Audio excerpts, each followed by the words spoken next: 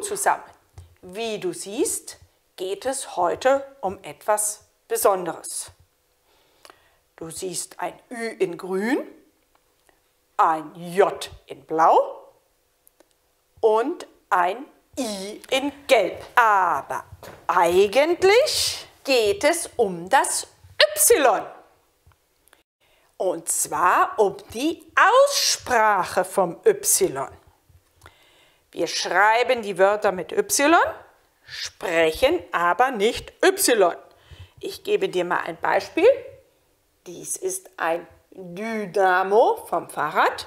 Du sagst ja nicht Dynamo. Du sagst Dynamo. Überlege mal. Dynamo.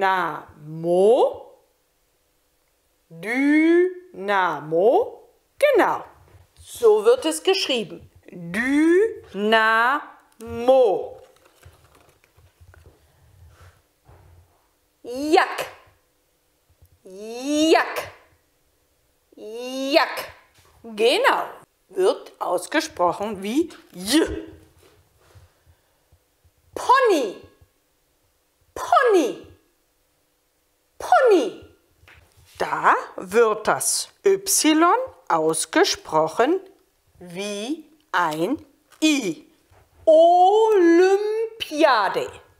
Olympiade. Überlege. Genau. Yoga. Genau. Wie J. Pyramide. Pyramide. Teddy.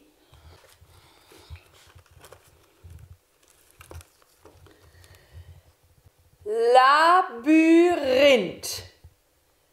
Labyrinth. Labyrinth. Ägypten. Ägypten.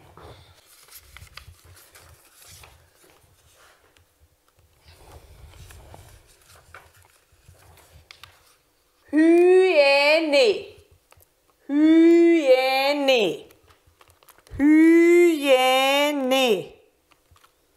Hyäne.